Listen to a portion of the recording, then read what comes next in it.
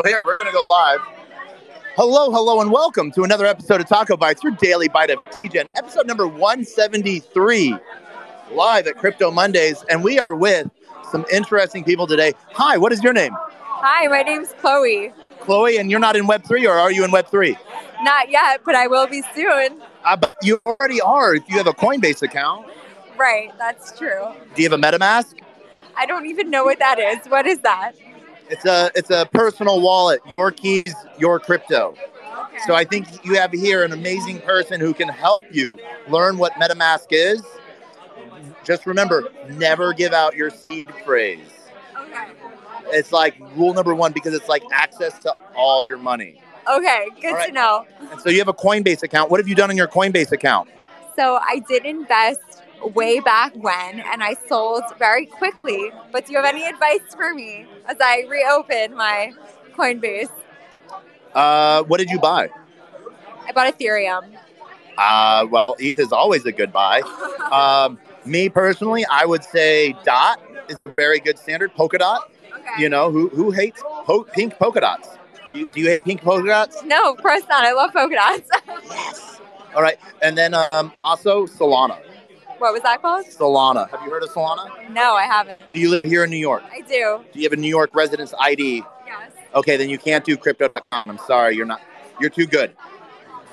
They don't want to pay for a BitLicense Oh, okay. because New York made it impossible for anyone because people have to pay up the yin yang for zero regulation. Oh my goodness. Um, so if you're ever free, you guys should go to uh, Hudson Yards. Okay. you know the big mall and go to Solana Spaces, and you'll get a you'll be able to get a Phantom wallet, which is like MetaMask. MetaMask is for Ethereum-based projects. The Phantom wallet is for Solana-based projects. Not compatible, but semi-compatible via a bridge. But they'll teach you about it. They'll onboard you to download some free NFTs. You know what an NFT is? I sure do. What does it stand for? Non fungible token. Okay, good. I thought you were going to say non-functioning testicles, but that is neither here nor there. Um, but no, you get some free NFTs, and you do a few of them and learn about the ecosystem. They pay you ten bucks. Wow, all right, I'll give it a shot. What is your name? Jeremy. Jeremy. Okay, Jeremy. We have to speak a little louder because we are in a loud bar. All right. All right. I can do that. Don't don't be showed up by Chloe. You got it. So, what are you doing Web three? uh, I'm uh, yield farming and uh, decentralized finance and a bit of NFTs as well. What is your favorite DeFi yield farming strategy right now? Ooh, uh, strategy or protocol? Protocol first. I'd say right now Camelot on Arbitrum. Okay. Yeah. All right, Arbitrum. We got some Arbitrum people here to talk to. Some Arbies. Do you have your Arb ID? Uh, RBIT, no, I do. Oh, I have Magic, the uh, the Magic ID. No, I don't my RBIT. Or the Arbitrum ID? No. Okay, that's a problem. All right. No, hey, no, it's not. Arbitrum's good. Um, Snapfish. Do you know that protocol? No, I do not. Another DeFi protocol. Okay, gotcha. Uh, what about Beefy Finance? Of course, of course yes. What do you know about? Uh, beefy. He's where he got BP. All right. So, uh, what is your token, the DeFi pool right now earning yield? What's your what's your APY or APR? Uh, I like the there's an Oath uh, Ethereum farm on Camelot that has 100 150 percent in uh, the Grail token on uh, Camelot.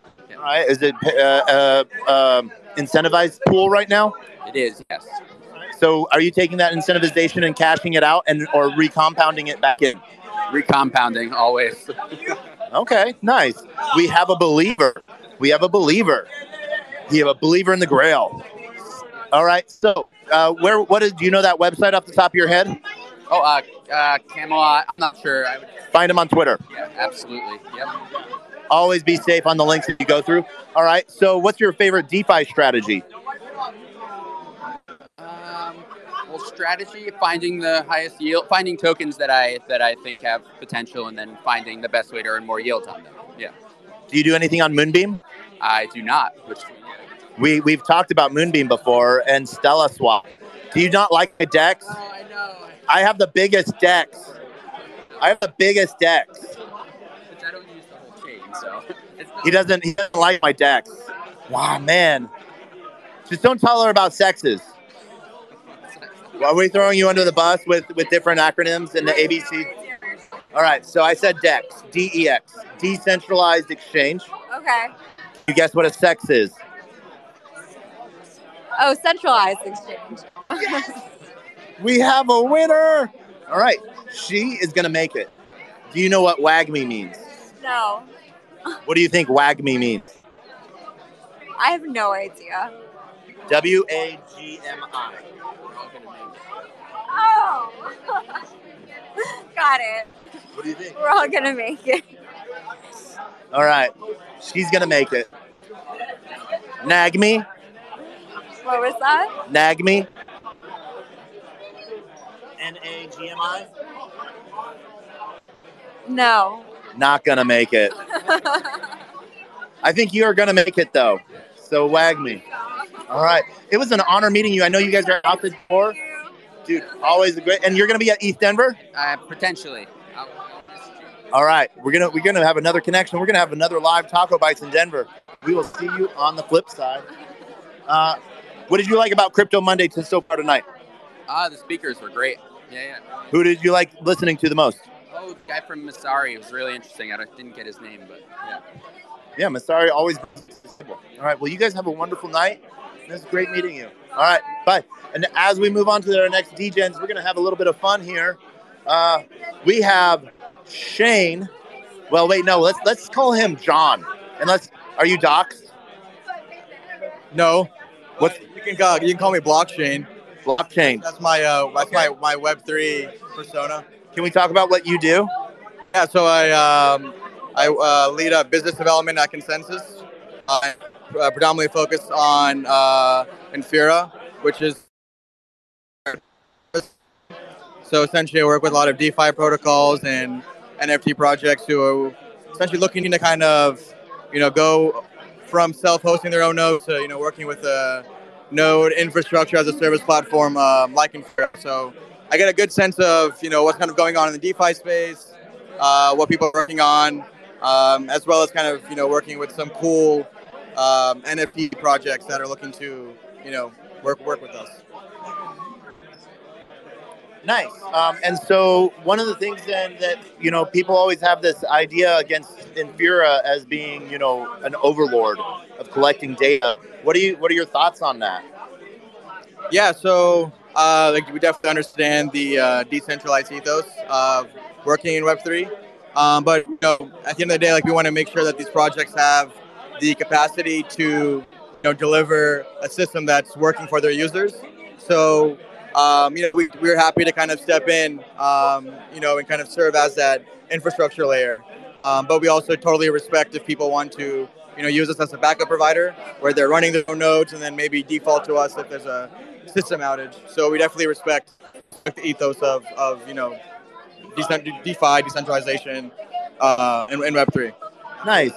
Um, so then, because it, it's a sort of there's a funny meme going around, and this is why I feel that Infura has a strong place in uh, Web three right now, is because you're you're opting for what really decentralized stable network. Infura, Blockdaemon, Rivet, and then you have maybe a few other providers, and then you have AWS. And what I really love uh, is the meme of like Jeff Bezos. He's like, "Your decentralized network runs on my network." what do you think of that? Um, yeah, I mean, definitely, you know, AWS has its place in tech history. Um, but, you know, on the other side, you know, with, with Infura, we are, you know, essentially kind of carving out new entire industry. Um, and, you know, we're built with decentralized de- decentralization as, you know, a starting point. So with AWS, you know, building AWS with a proxy for considering decentralization being the ultimate goal. Whereas products like Infura, you know, we're go- we're going into a market where we understand decentralization is a component of of what we're striving for. Um, so we definitely have, I would say, a lot more thought in terms of people who are working at more traditional Web two hosting services, where we have we have people who are thinking of, thinking about decentralization in terms of node infrastructure. Like, you know, we like we we understand where where, we're playing in and the, and the market we're playing in as well.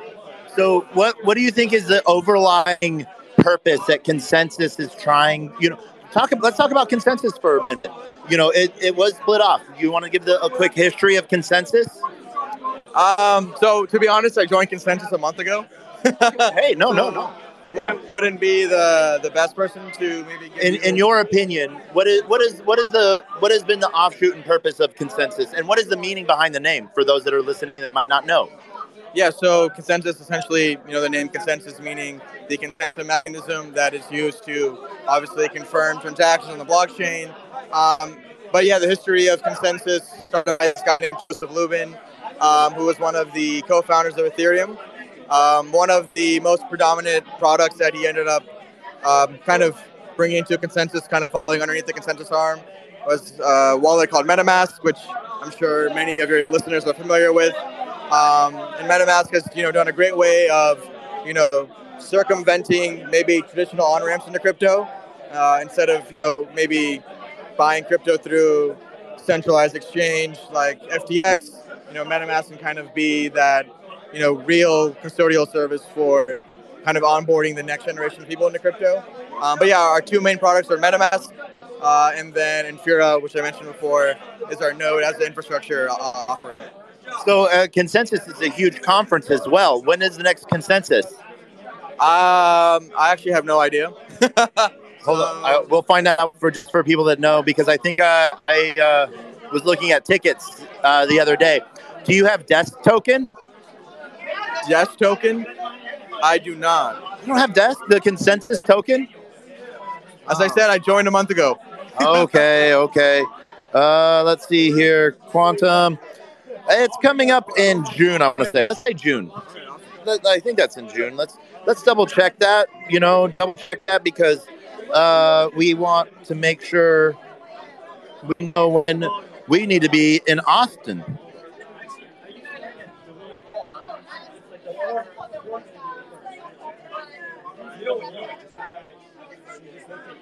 Consensus. So yeah. Uh, do do do do do. Um. company-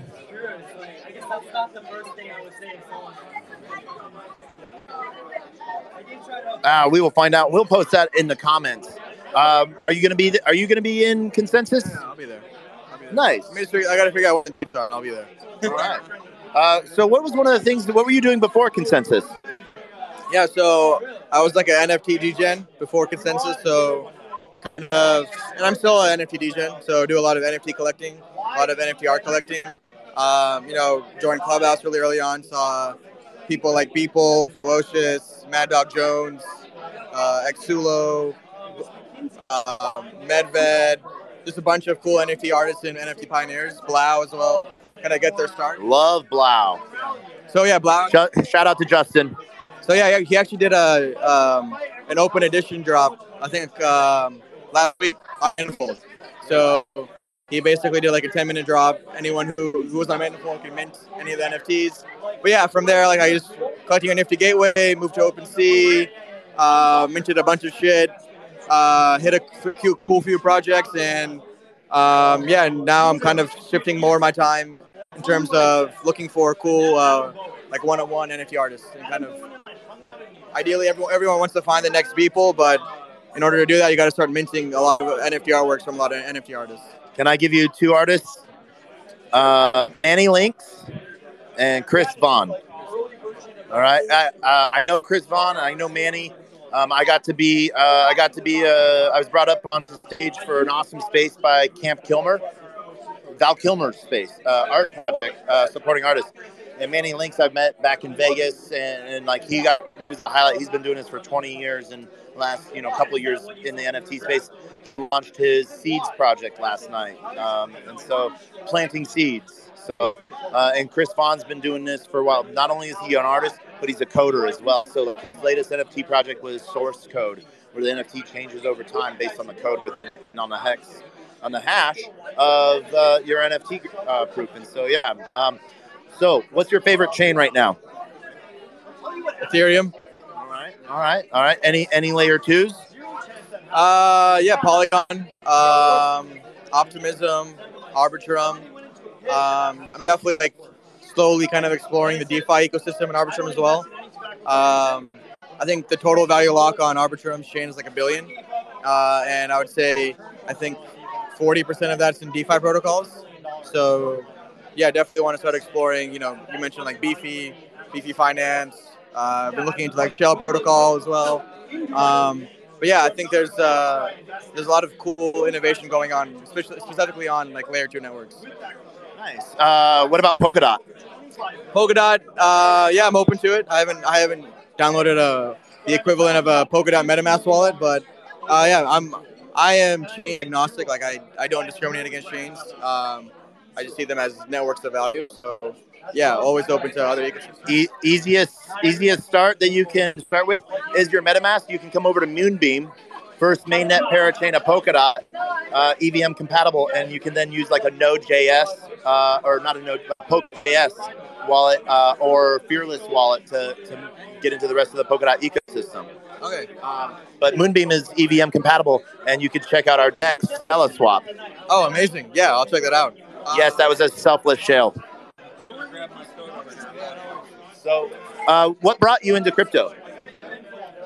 what brought me into crypto? Um, I would say the ethos. Um, you know, someone who kind of understood the TradFi world.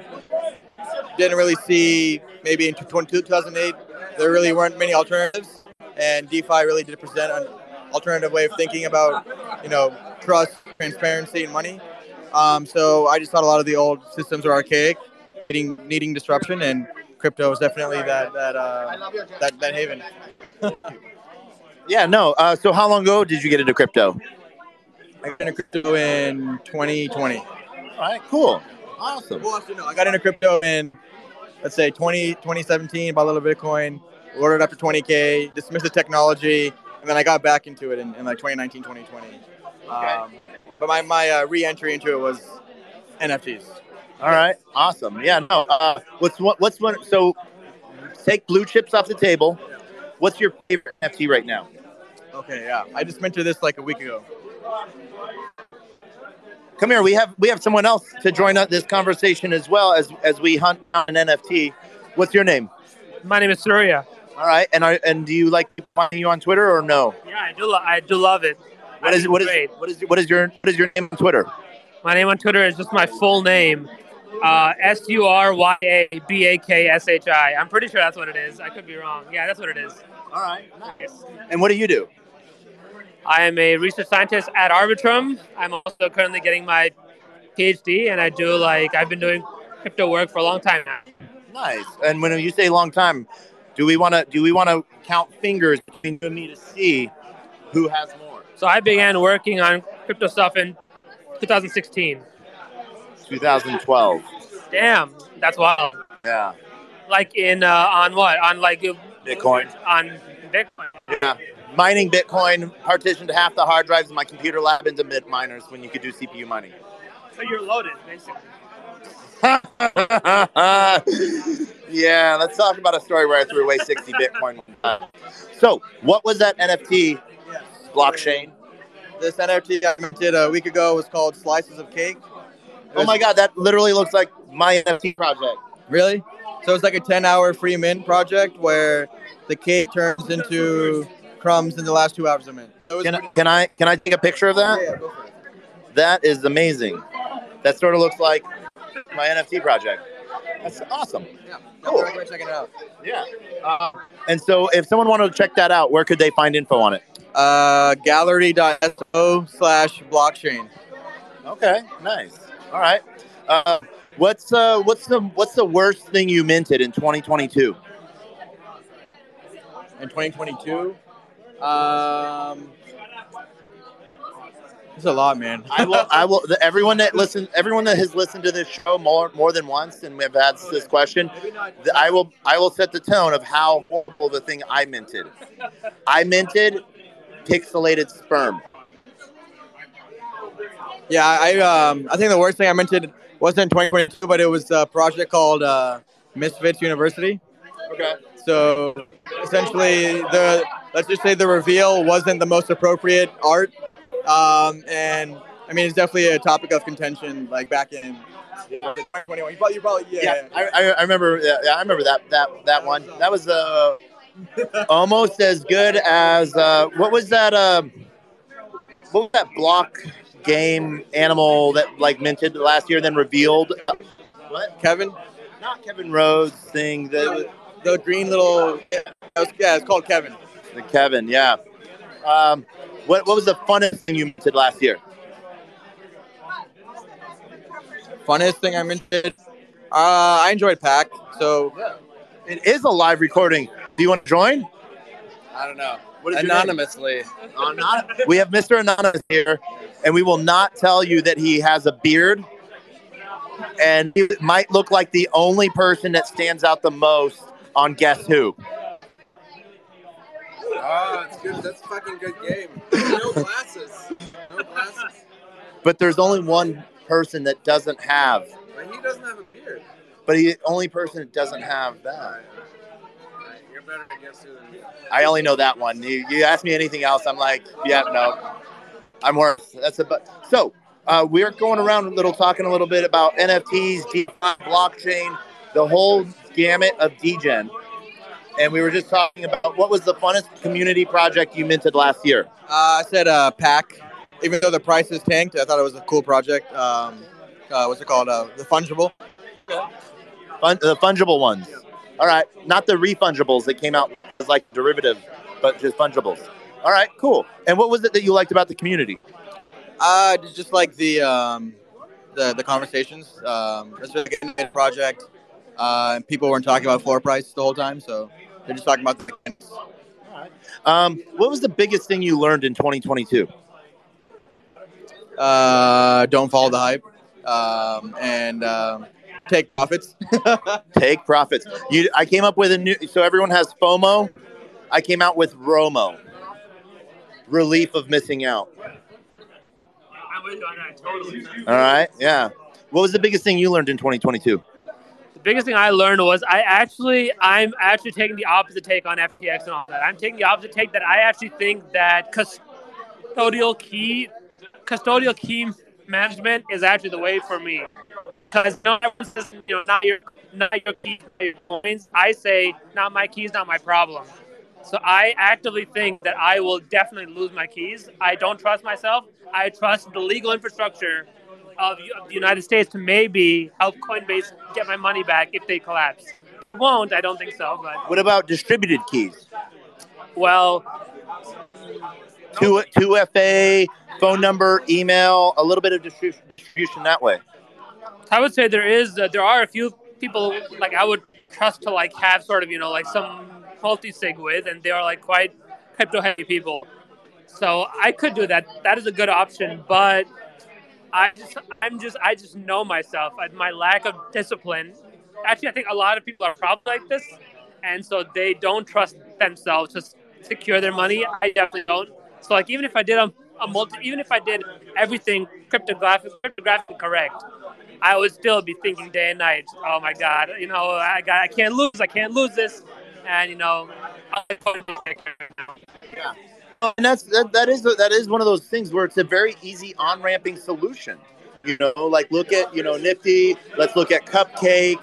You know, they hold on to these items through like magic links that you can then claim at a later date. But you know, not my keys, not my problem is a very good way. You know, because one, you know, you just hope that there's solvency and that there's a risk. But with regulation, I do believe regulation is appropriate and is needed, but not censorship. Yeah, I, agree completely. Like I think this whole like uh, you know the OFAC drama with with Flashbots, you know, they chose now to sort of to, to censor transactions for OFAC countries, and I completely support that. I think uh, you you as, as a crypto project, priority number one, don't go to jail. Like above anything else, you know, fuck talking about decentralization.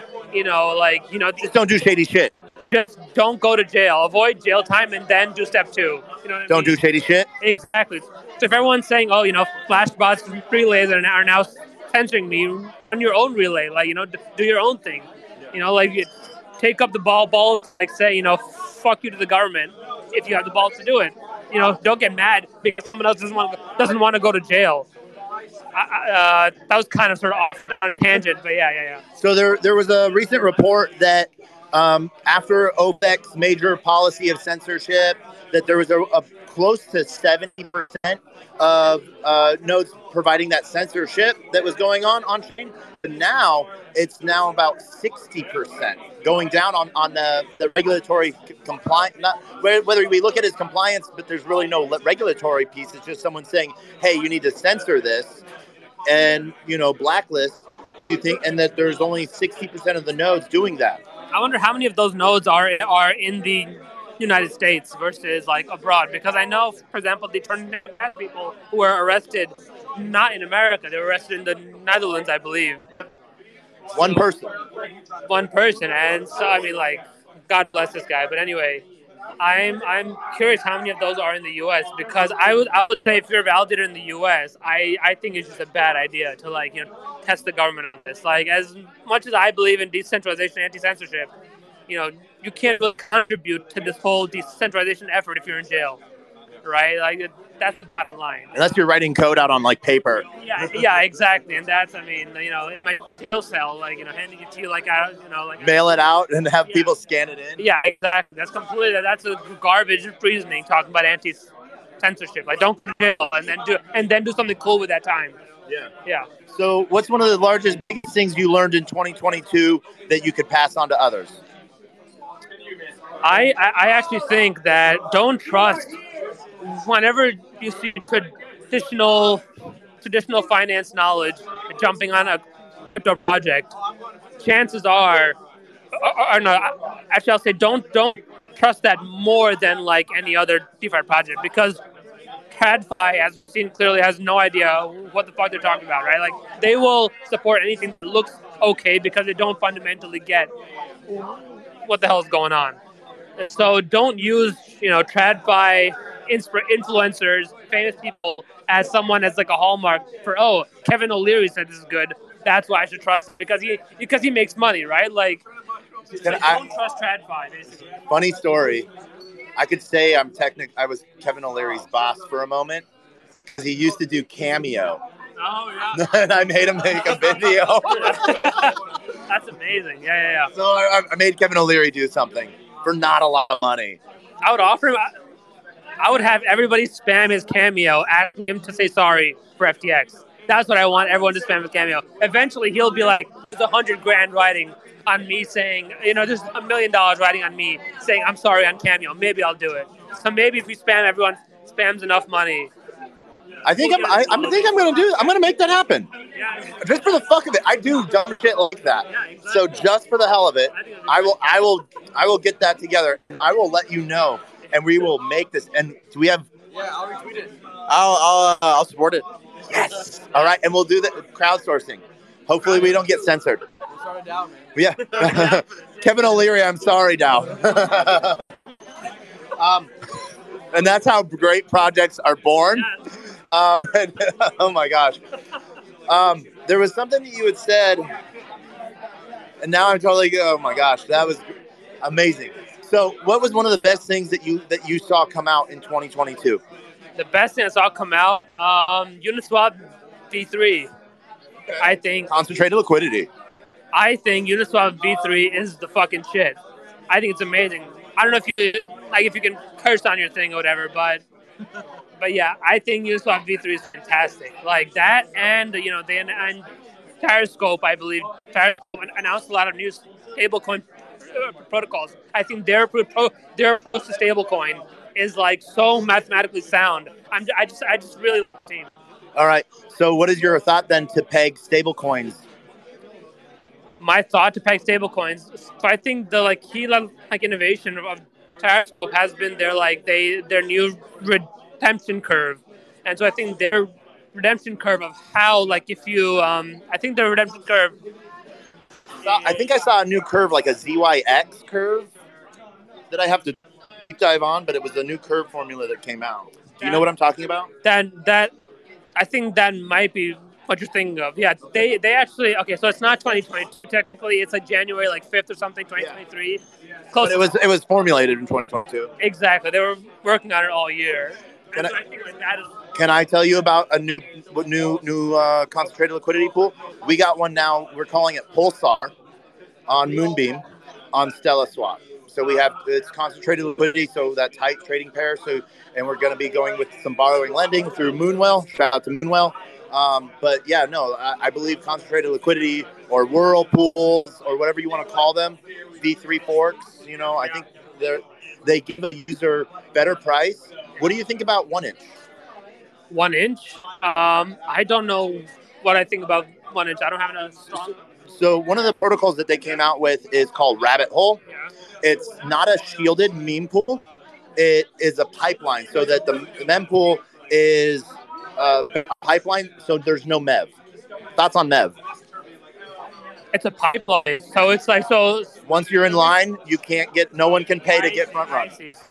So, So you don't have to worry about sandwich attacks. so it sounds like Arbitrum right now. You submit a transaction to your sequencer. He gives you a, a, a transaction number basically, and that like gives you a, a final ordering among all transactions. Okay, so you're saying they have this pipeline off chain and it goes. the- I, I- I haven't deep dived into the pipeline to see if it, it's basically on chain. And we have a great stranger. I'm going to be here. You're going to come on radio? We're live. All right. Um, so basically, all transactions are on chain and in, they cannot be rearranged. Interesting. That's okay. Get ready for front, front running, sandwich attacks. I'd be interested to see how that happens. Now, I actually, so like, I, I was at this uh, research retreat in uh, in late January in Switzerland, actually, and so there, someone uh, I think uh, what's his name uh, from the Ethereum Foundation, Barnabé, I think his name is, and he's and he brought up an, an interesting uh, point where some forms some forms of MEV are actually sort of advantageous to the market, right? Because like it solves some sort of coordination problem that otherwise is unsolved, right? So like more efficient market overall. So there is such a thing I think as MEV, right? Like like like for example, if you backrun a transaction, right? Say you make a trade, you backrun it, and, and you get like a good a good price to sell. Basically, I buy, you sell, I sell, you buy. It's a price correction, but it's good for the market. So you get like pricing. Sort of like how, but that like CoW Swap solves that with their batch batch stuff buys almost in a way.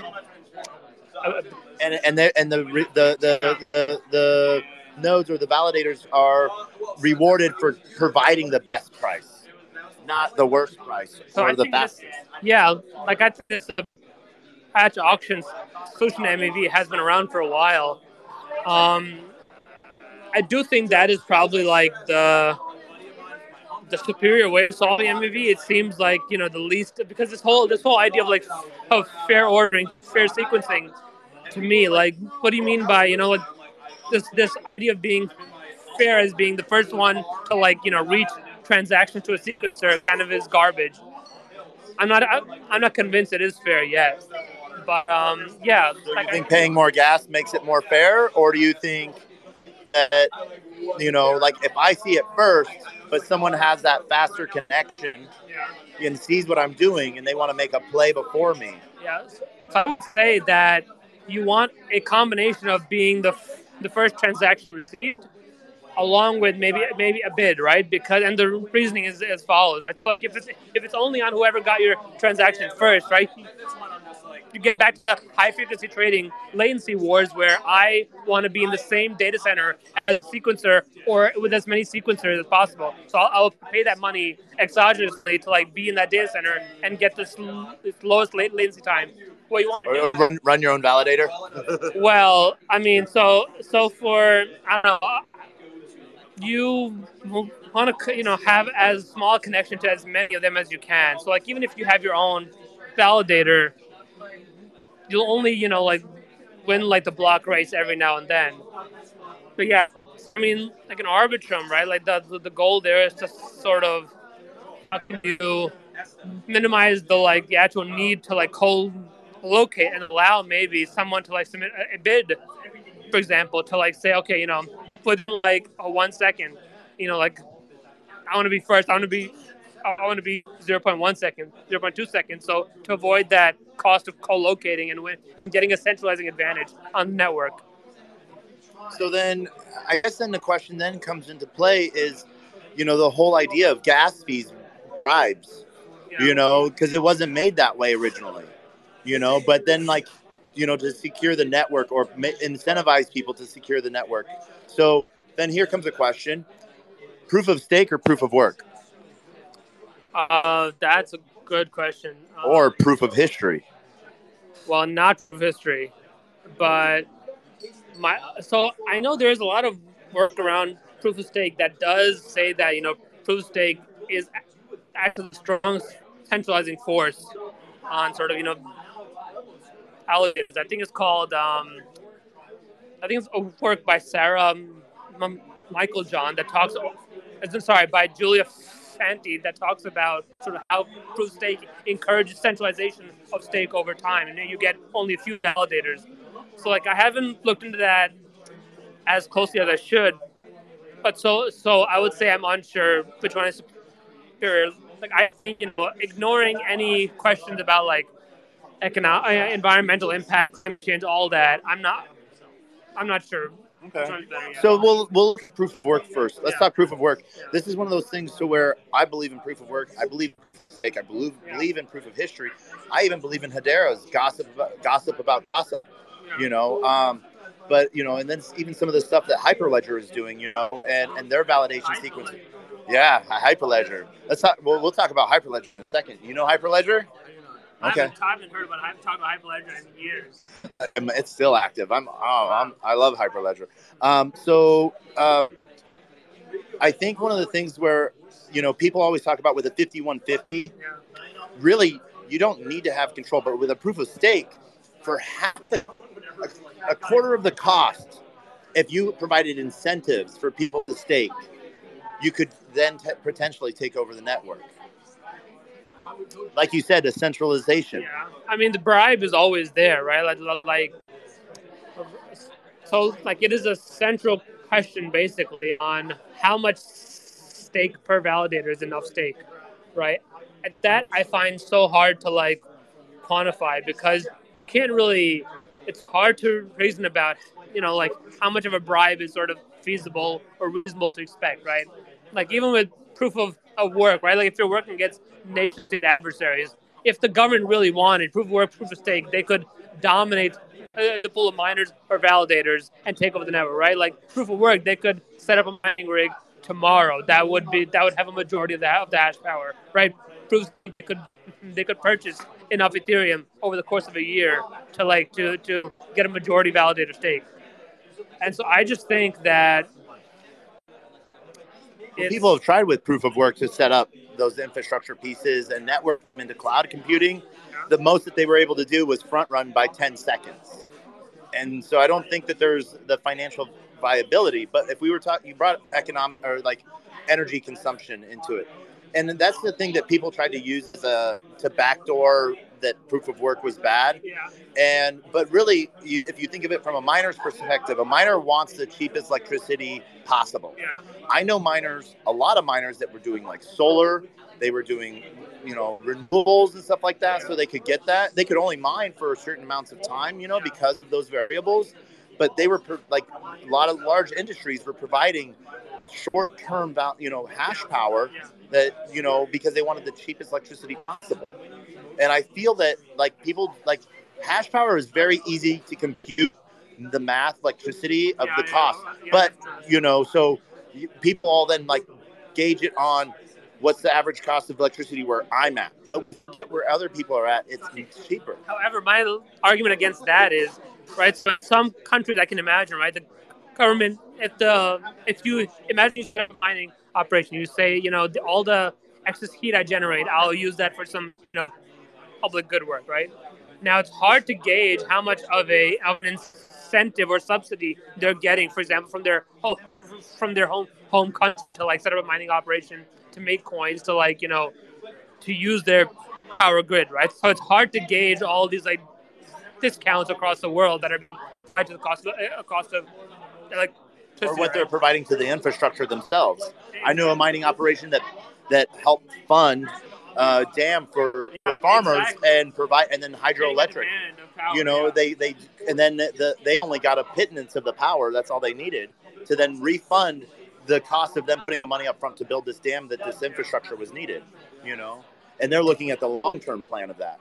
and there's an argument there about you know like uh, that that Bitcoin mining around the world creates a demand for more energy production. And so, you know, like the the broader community around you, you know, can take advantage of the new sort of power, like you're saying, a dam or like you know creating wind farms, solar farms, and all the energy I can give to like you know the people around who live around me.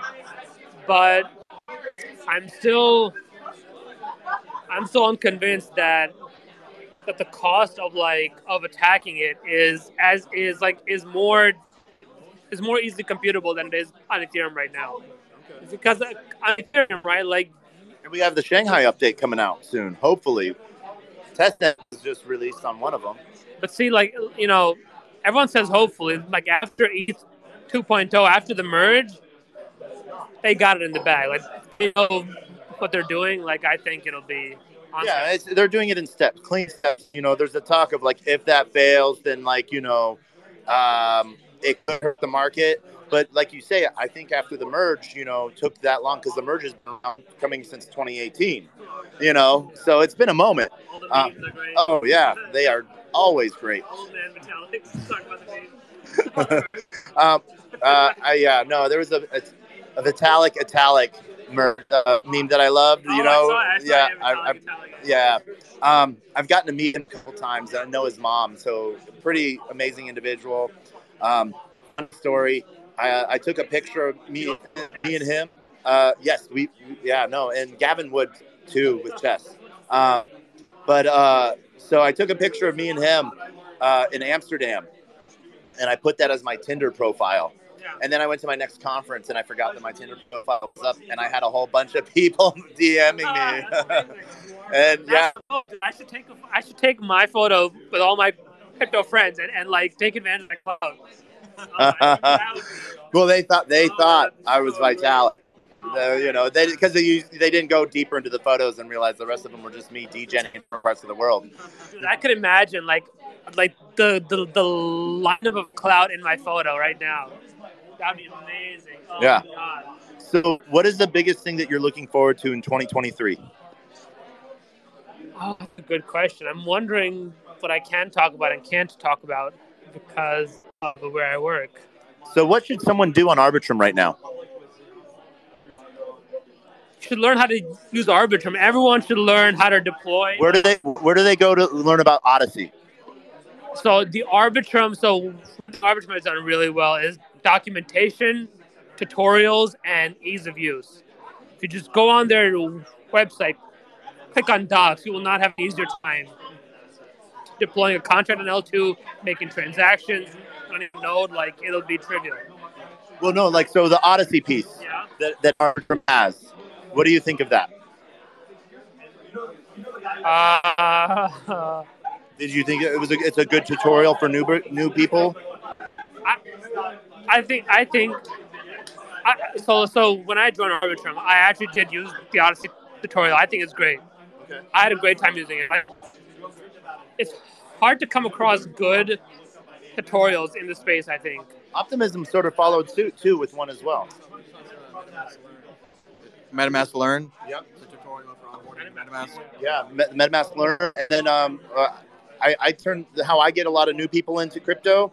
I, you know, I sometimes benefit from it if they use my referral link, but they'll usually just go to the App Store and download Coinbase and learn it on Coinbase. It's, and Coinbase has really stepped their game up. It used to be like such an e like you watch a one minute video and the answers were like uh, war, crypto, squirrel, chainsaw. So you could pretty easy, but they made them a little bit harder. But what's really cool is I liked it. Now they added learn more docs at the end. You know, so you earn free crypto. You don't have to put a dollar into it. You just have to KYC. You know, um, but that's one of the things about it. So here's a really good question: Thoughts on Aptos? Um, not too familiar with the ecosystem, but I don't know. I think there's a lot of reviews. But yeah, don't have enough knowledge. On thoughts on Aptos?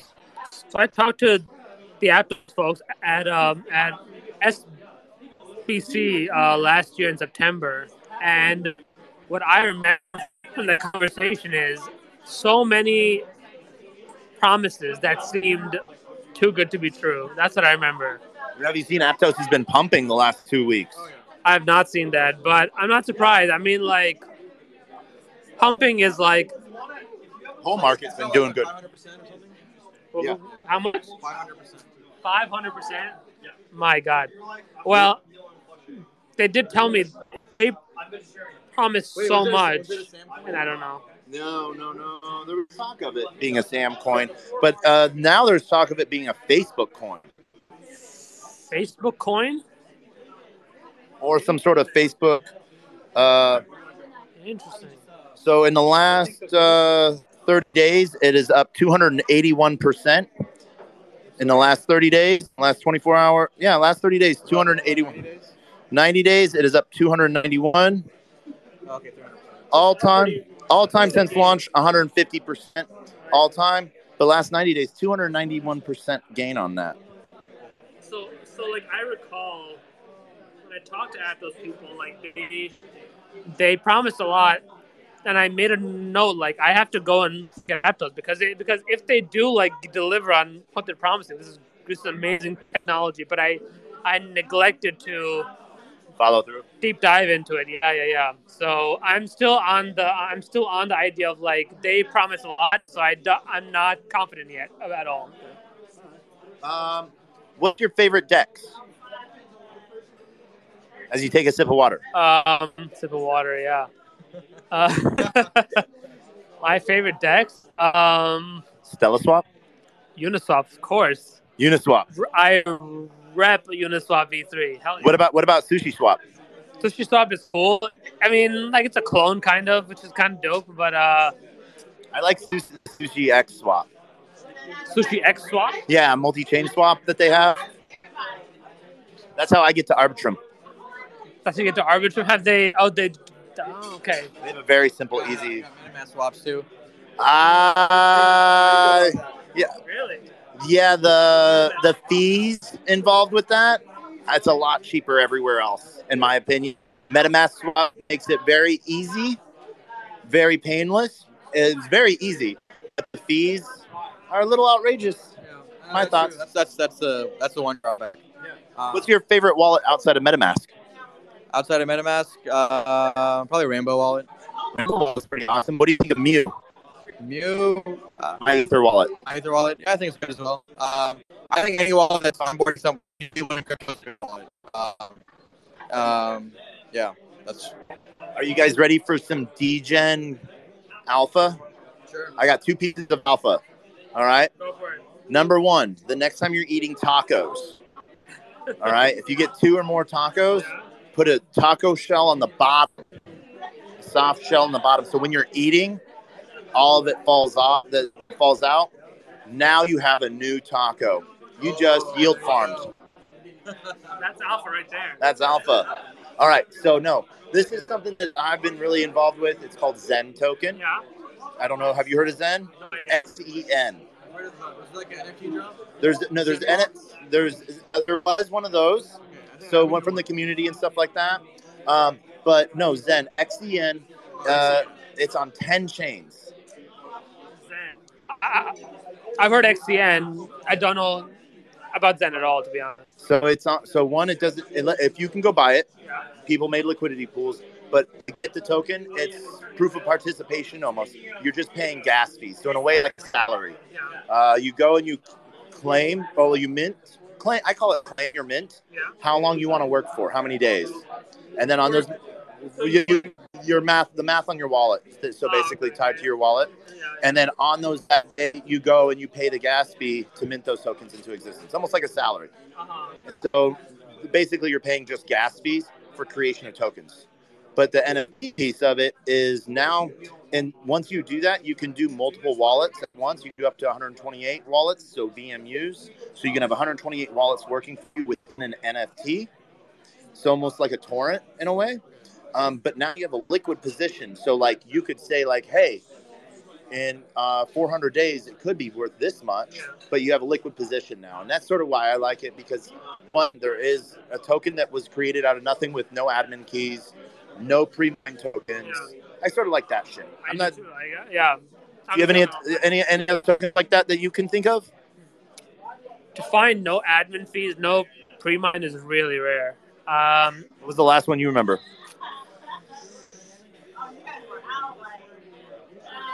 that's how rare it is. I can't think of a name. It's hard to find. All right. So yeah, no, and, and it's been. Hard. I know there's been a few on my head. All right. So then, ending question before we move on to next. You guys have been amazing. One, how does people find you on Twitter? Uh, you can find me on Twitter at blockchain underscore. Okay. And how can they find you on Twitter? You can find me. My name Surya Bakshi. S U R Y A. I'm sure I'm the only Surya that's like has crypto followers. Nice. Okay. So last question. Thoughts on Solana? Um, I think there's a lot of growth going on Solana. I think it's definitely, obviously, have been affected by you know the FTX debacle, but uh, I have some friends friends at Solana and some of the nicest guys I know. So yeah, I think there's definitely uh, you know room for growth and room for innovation. All right. Thoughts on Solana? Given their historical problems of like decentralization in the past like five years, I would say be cautious about Solana. They are still on beta, so I think you would want to get rid of the kinks before you push all of that out. I mean, how long can you stay on beta, right? Like two years whole, so far. Well, that's the whole downside of like you know like so. Um, there's one guy on Twitter, Patrick McCorry. I don't know if you know who that is. I know the name. Yeah, yeah. So he talks, you know, like that. You know that uh, huge aspects of sort of zk rollups, right? Like like they underestimate the like sticking power of optimistic rollups that have already deployed, right? So like all they're waiting for their zk rollup to be perfect or like you know to be to be to be like all they can be. You're losing out on that adoption and and and the stickiness of, of other rollups, optimistic rollups, is really strong force stickiness is a, is a huge thing. You're, you're right. I, I, got you. All right. So as we end every interview, we go with 10 seconds, lightning round, each review, closing words. 10 seconds. Uh, yeah, I really appreciate this uh, conversation. Learned a lot from from from from you hosting and from from the other speakers as well. And yeah, go go go ahead and follow me. Yeah. yeah. All right. So 10 seconds. Final thoughts. My final thoughts. Um, fuck all player twos out of Arbitrum. I got to represent. Um, try to cash out of Av- Avalanche if you can. Just, Ouch. Just because why not? Um, I won't say why, but uh, yeah. Hey GMX, we love you. uh, yeah, yeah, sure. Fine. Well, i GMX is on Arbitrum. Can't hate GM. Yeah. fine, fine, fine. I can't. I can't. I can't hate. All right. So, hey, I want to thank you guys. And as always, we will see you on the flip side. And we're going to talk more tonight before you guys leave. We're going to go find some other people before they leave at Crypto Monday. All right. Yeah. Well, that's the other, like, my partner. Hello, hello. And we are live. Who do we have here? Uh, Yuri. Yuri, how are you doing tonight? Uh, good at Crypto Mondays. Hey, and who do we have here? What's going on? Where we at? We on, we on Twitter Space? What we yeah, on? We're on a Twitter Space. We're on TacoBytes, your daily bite of Degen, episode number 173. You finally came into the place, which is Crypto Mondays, the biggest crypto meetup in the world. I am Abby Harris. We holding it down today at Sean's Bar. We had some great guests to come through. And if you in the city every Monday, each and every Monday, pull up the Crypto Monday, 6.30 at 9. We talk about all the tech Web3 stuff that you can possibly think of. And I'm out. Oh, last thing. Pull up on me Tuesday, ABTR8XX is my Twitter space. So at 7 p.m. tomorrow. We'll be there. I will have an interview from Susan Cummins. She's the co-founder of Rockstar Games and 2K Sports. And she has a project called Petaverse. So go check it out. Will I be able to be on stage for that? Uh, I don't know because I got to figure out her time. And she's in London, so my interview is at five, but I'm not sure if that's five New York time or five London. All right, all right. Yuri, we're down to you. I think if you wake up in either time zone, you'll be just fine, or just stay awake the whole time. I'm sure you can end up on that one. The spaces. What do you do in this space? Um, I do Twitter Spaces. Uh, yeah, on a couple different ecosystems, and I build stuff that educate people within it. This space. Where can they find you on Twitter? Uh, at Stoked on Ice. S T O K E D O N I C E. All right, and I think that the last time I saw you was in Miami. No, no, no. We were in New York, Crypto Monday, I think. Oh, okay. Yep. Yep. I think you were going to Miami, but yeah, um, never a dull moment in the space. It feels like it's been years. It does. Um, I still feel like I've seen you in like lots of other spaces. I think I think it was um, we were having a discussion about Denver last time. I think that might have been it because I've, I've gone to ETHDenver and whatnot. But Are you going to eat? Are you going to ETHDenver now? no, um, I'm busy, but that's a good thing. Okay.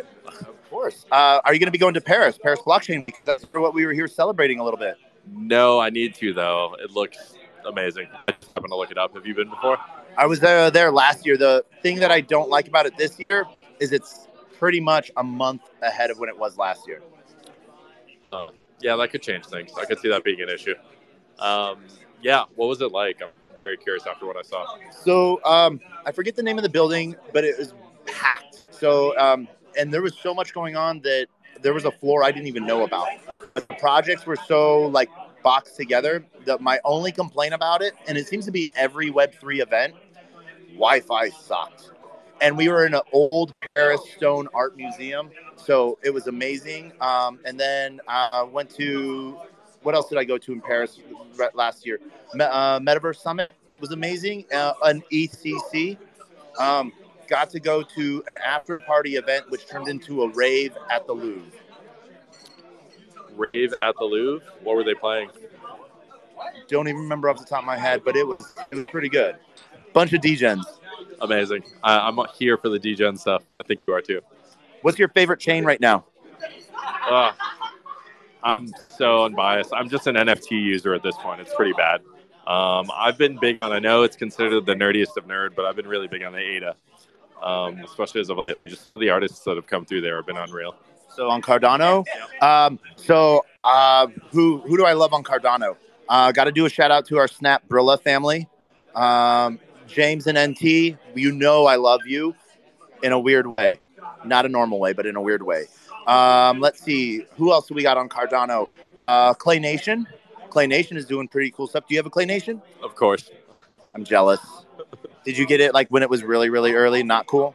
Um, yeah, full on Degen. Bought it super early, um, and even got to stare at Good Charlotte and wonder if any of this would be a thing. Like the the project has nostalgia and awesomeness blended together. I'm pretty stoked. uh, car dogs. I'm with car. I got car dogs. Um, I even got one of the. Uh, so I was at CNFT. Um, that was an. ama- Were you at CNFT?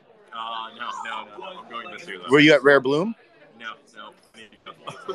Okay. I've been oh, very digital. Um, All right. I need to change the IRL. Hey. Um, so all right. I'm trying to think of like. So this was my thing on on Cardano CNFT event, and huge shout out to M for putting that on. Um, but originally the emails was like 50 projects signed on, and then like 75 projects signed on, and then like, hey, we have 100 projects signed on. I was like, oh, cool. There's going to be 50 projects there. Get there. There was like 150 projects. So my biggest fault on it was that it was only two days. Yeah, sounds like we need a third day. Do you think more or three days is enough? three to four, like a day of talking, like maybe like because for like the projects and stuff like that, and talking day, but at least three days because some of those projects made amazing booths that they they built themselves. Those team, like there was this one team, I don't even remember the name of the team, um, but they came up from Brazil. And they built this huge thing. Like they, like they couldn't, like the union wouldn't help them because, like the laws, they couldn't like bring stuff in because of the union. So they had to bring in supplies and build this huge set themselves and then they had to take it down and they had like two hours to dismantle it and so a bunch of devs with hammers it was sort of hilarious builders with hammers tearing stuff down but um, there was so many awesome projects there um, great talks great music projects even um, oh my gosh i only got to talk to like a third of them you know, because that, that's how it was. Yeah, I'm going with you. Um, so it looks like you got to go. So uh, don't want to keep you. I want to thank you for. Uh, where can people find you on Twitter again? Uh, it's at Stoked on Ice, and then uh, second plug, I'll be on Abs Twitter Space tomorrow. Okay. So Yeah. definitely check it out. We will be there. Uh, so then, big question for you: as you have to get going, we have to end every space with this. Ten seconds. Words of wisdom.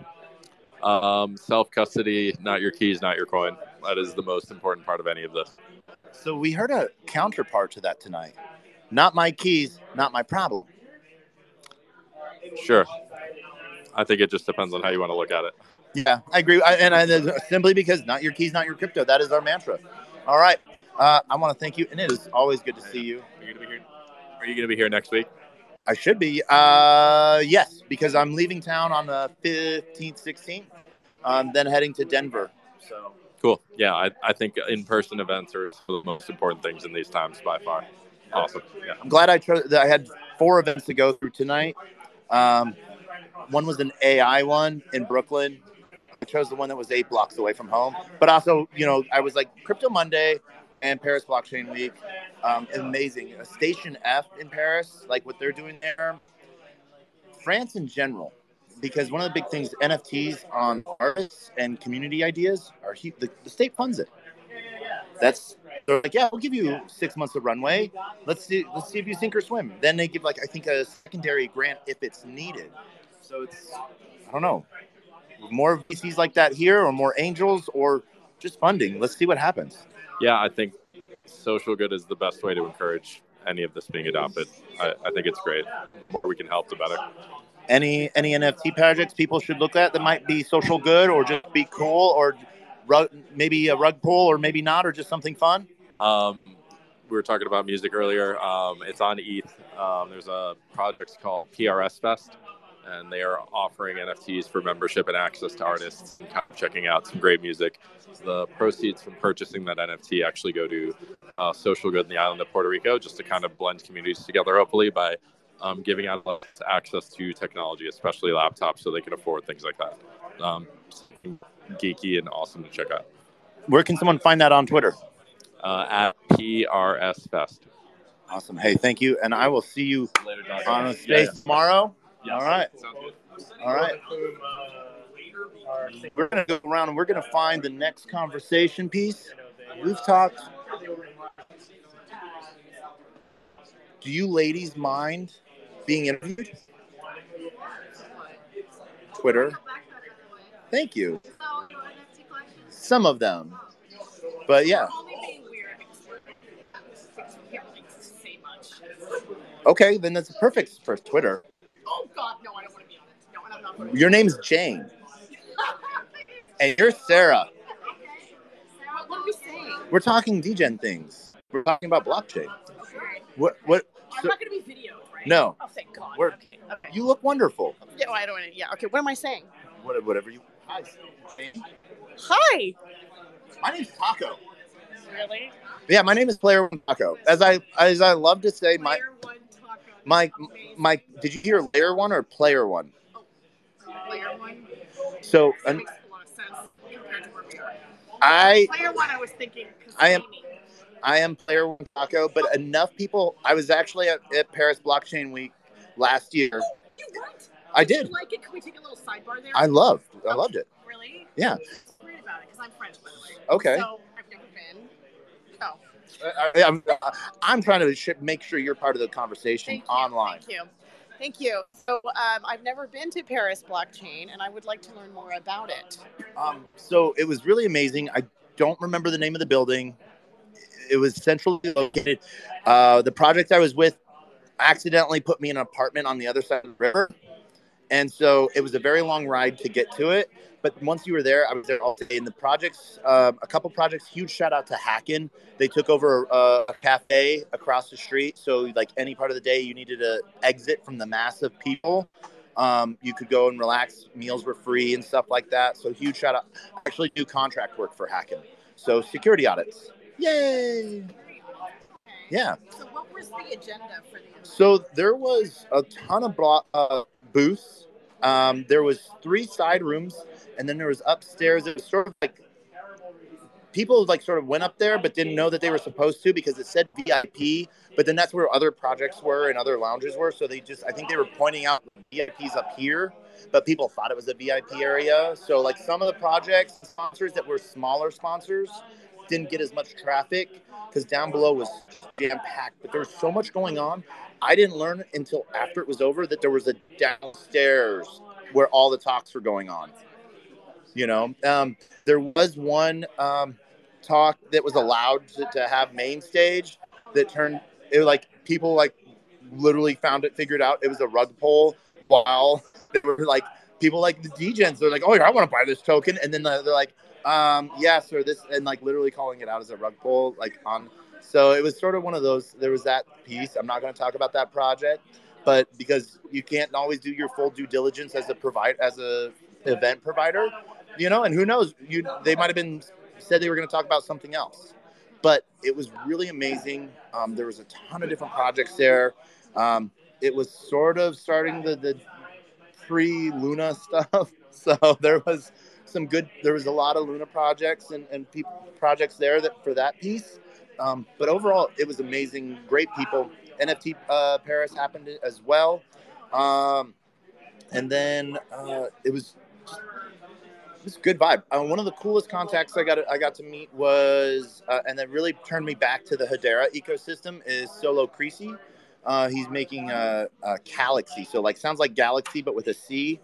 Um, and it was uh, one of the first ideas of viable ideas of content creators creating social tokens for their project or for their brand, and the ownership to be able to reward their fans. So, what do you do in Web three? Uh, so I um, I'm on the uh, TradFi side of the house. Okay. And trying to help the financial services community understand and adopt Web 3.0 from everything that has to do with the technology to use cases of today and tomorrow future proofing within regulation. What do you think with with, with like uh, J.P. Morgan's Onyx chain? Oh yes, um, I can't comment on that, but I think it is a very good proof of concept for real time settlements. Yeah, no, real time settlements, but then also the idea of tokenizing um, stock assets yes, and then over over collateralized loan protocols pieces on that, and then being able to all of it. Yeah. Tokenization of anything. Tokenization of anything. It's going to be the democratization of financial services accessibility. What do you believe in? How do you believe though? Like you know, I got to talk with someone from ConsenSys tonight. Very ama- amazing person.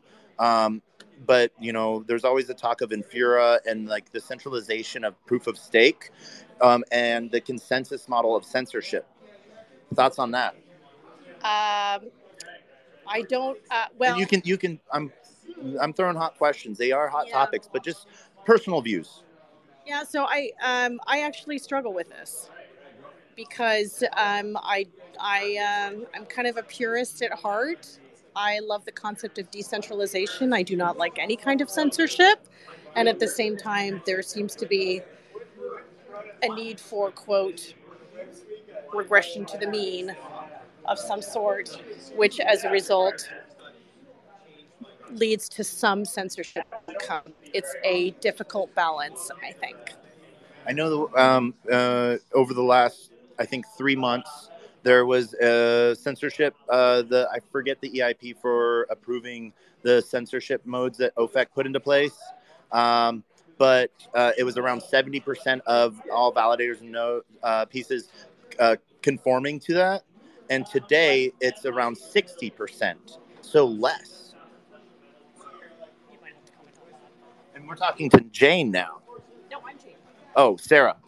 Sarah. Two amazing women of Web3, but we're not going to talk about that. Yeah, the community has uh, been waking up that you know, there are gatekeepers. I mean, they do act as bridges because without ConsenSys and some of these node providers or infrastructure providers, you won't get mass adoption. But then, in, in the same token, they will become bigger and they do pose a threat if they change their, you know, terms of service again and privacy and like conform to OFAC. So yeah, people will just need to find you know enough alternatives to that. But right now, just given the dependence, like everything, at some point will be centralized because people would always value, you know, economies of scale and convenience. But if you, as a community, make sure that there's enough alternatives or people thinking about other other ways, whether you change the consensus mechanism or you know find a way to bypass whether whether it's censorship from the government or from the technocrats yeah it will be useful. As long as people realize there's these issues. The 40% of people really you know they got it. So then, an idea piece that's on that that, that I just learned about today is that Russia is going to be coming out with its own DeFi protocol, I, like Serb something, uh, and it's coming out on Ethereum.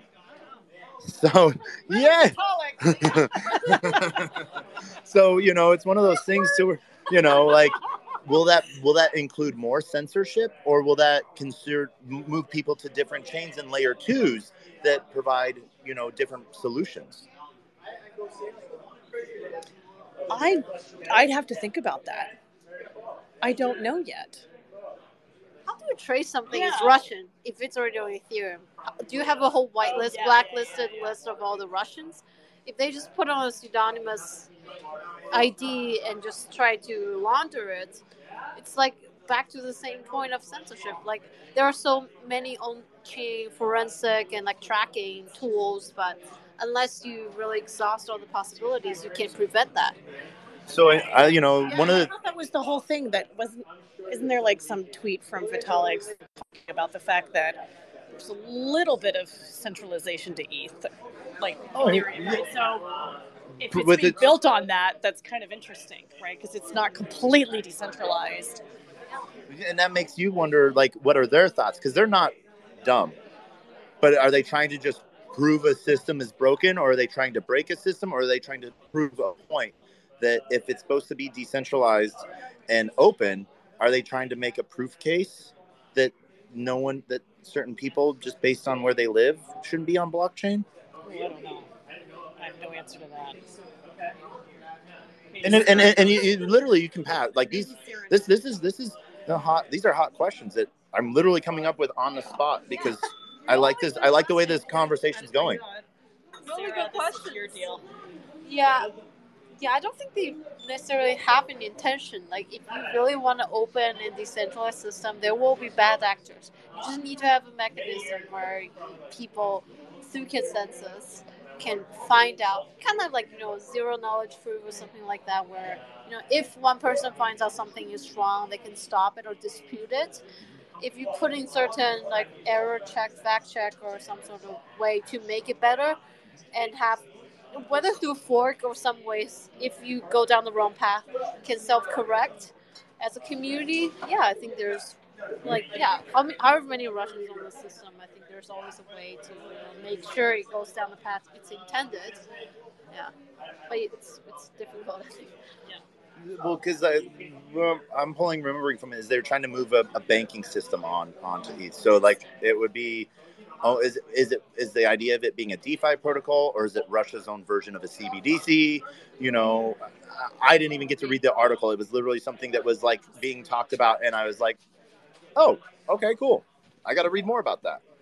So um yeah. Well, considering what's happening, it's very much a defensive move, I would guess, right? So, um, you know, it's uh, there's no fortunate outcome on any of what's going on, um, but there are history will prove innovations that come out of it, right?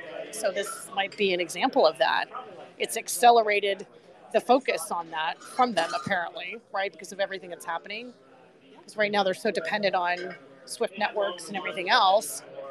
This is a way to decouple. So I guess the deglobalization networking is happening on all levels. Um, and yeah, no, it's it's one of those deep dives that you wonder at, a government level is it a lot not allowable um, or should be frowned upon? But at a people level, having control of one's own finances actually sort of gives them that chance to step away from governmental control. And is that was what's needed? Me personally, this is my opinion: is that like I think uh, during the Cold War, we did one of the best things. We just sort of sho- showered capitalism love, you know, and like basically, you know, tried to push it. And I, I think by shunning and like barricading and embargoing, we could have done one of the worst things, not only like to the Russian to the Russian people, because like, do you think oligarchs or any politician or any person of affluence is going without their Nikes or McDonald's? You know, and I, you know, huge people had a huge problem. You know, they wanted to shout praises for like Nike and um, Adidas and McDonald's uh, pulling out. Well, McDonald's couldn't serve food to people because no one could pay with credit card, and Nike couldn't had a better ROI pulling out because they couldn't accept credit card payments anymore, and they saw they would get. But then, like everyone sort of shit on. Um, I always say their name wrong. Nestle, Nestle, Nestle? Nestle. Yeah, because they have 100 like you think of just cookie and tea and hot chocolate, but they have 150 brands that are cosmetics, women products, men products, you know, hygiene items. You know, and so it's this is my personal view. Like you can dislike what a government's doing, but you can't shit on people that really don't have that choice. That's the age old um, question. And I don't think that uh, these kind of barriers, like economic, I don't think they ever really work. I don't think, yeah, I don't think, they, yeah, embargoes, I don't know if they've ever worked. Have they helped have they ever stopped the government or hurt the people? How do you think Cuba did? Cuba, yeah, I mean, it's, it's hard because, again, I've been reading the same thing, right? Where these embargoes are not necessarily impacting, but then they might be impacting the people. And then actually, I think they're having one of their best years because of all the oil reserves that they have. They're able to really, um, Oil and gas. yeah, I mean, they own all of that, so they're making a lot. Of It's not like they don't have anyone that's not buying. Yeah, exactly. Um, this might this is probably going to take be taken out of context by someone and i apologize in advance embargoes suck i think one of the weird perks or one of the weird outcomes that happened with cuba's embargo was the automobile industry how many cars of history are still in cuba because they couldn't get new ones so they had to work and learn how to work engines, and it turned whole generations into like car builders and rebuilding like these cars from the 40s and 50s that lasted until the 90s and beyond. And I just innovation, I think, came out of that. And so, eh, you know, I just thought that that was one of the like weird, you know, like okay, if a cave is sealed off forever and you open it up and you got like lizards that can't see, and now you're like showing them light and they all die, it's sort of weird. But you know, it's like when you get to see that microscope piece, um, it's sort of sort of cool. So, what's your favorite chain right now? Hmm. Which one should I say?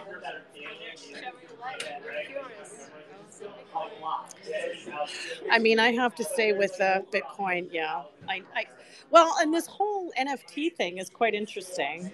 I don't know how long that's going to last. I've I've heard of this Yeah, today.